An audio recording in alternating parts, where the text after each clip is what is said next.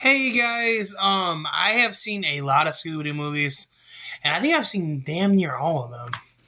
But this one for sure takes the cake of the worst Scooby Doo movie ever.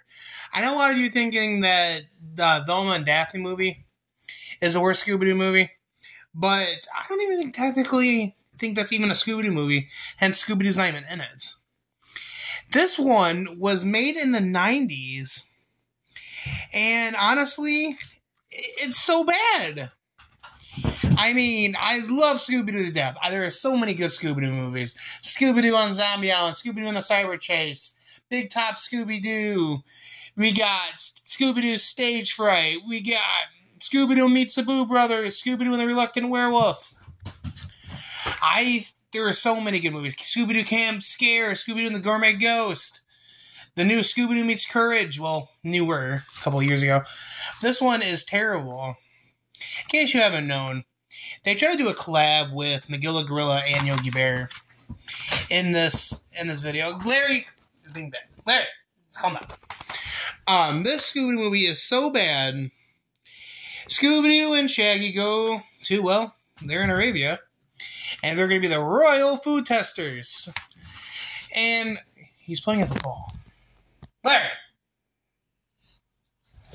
Um, they're the real food testers, and they found out they're uh, tasting the food because it's uh, for poison. They eat all the food, yada yada yada, and then instead of having a Scooby Doo adventure, they tell stories to this prince. When the prince thinks Shaggy's a girl, and and he wants to marry Shaggy. Well, to distract him from getting married, Shaggy and Shaggy tells him these uh, these two tales involving Yogi Bear and Magilla Gorilla. And Scooby Doo and Shaggy are rarely in this movie, and these story Scooby and Scooby Doo and Shaggy aren't even in it. So, in my opinion, if you want to watch a good Scooby Doo movie, please do not watch Scooby Doo Arabian Nights. A lot of people think this is a classic. I think it's actually one of the worst, the worst Scooby Doo movies of all time. If you want a Scooby Doo, I, I, I love Yogi Bear. I love Magilla Gorilla, eh, but they're not even. It's not even relevant. It's not even relevant to the story. I would love to see a Yogi Bear uh, Scooby Doo collaboration like we did in the Scooby Doo Laugh Olympics, but this is a terrible movie.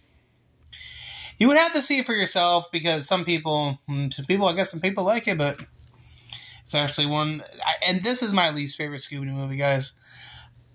If you are bored, then watch it, but please, just let me know if you guys ever seen this one before. Comment down below if you like this movie, or if you don't like it, or if you agree with me, if you don't disagree. I want to hear from you guys. Uh, anyway, like, subscribe, share, and I'll see you next time.